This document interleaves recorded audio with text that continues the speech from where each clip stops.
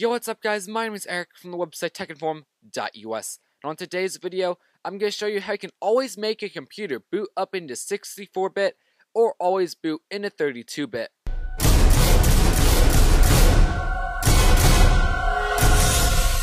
So the first thing you want to do is open up terminal. Once terminal is opened, then type sudo space system setup, then enter and then you want to type in your password. Now, when you type in your password, nothing's going to show up, but once it's actually typed in, then there you go.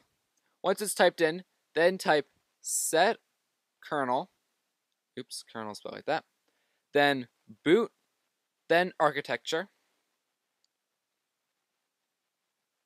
and then you want to type x86, then the under thing, whatever it's called, then 64. Then click enter.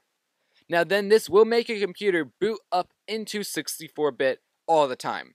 Now if you want it to only boot into 32-bit all the time, then instead of typing x86, you want to type i386. So anyway, I hope you liked this video. That is how you make a computer always boot up into 64-bit or 32-bit mode. So anyway guys, I hope you liked this video. Please comment, subscribe, and like this video because that'll help me. And guys, this is The Techy One, signing out.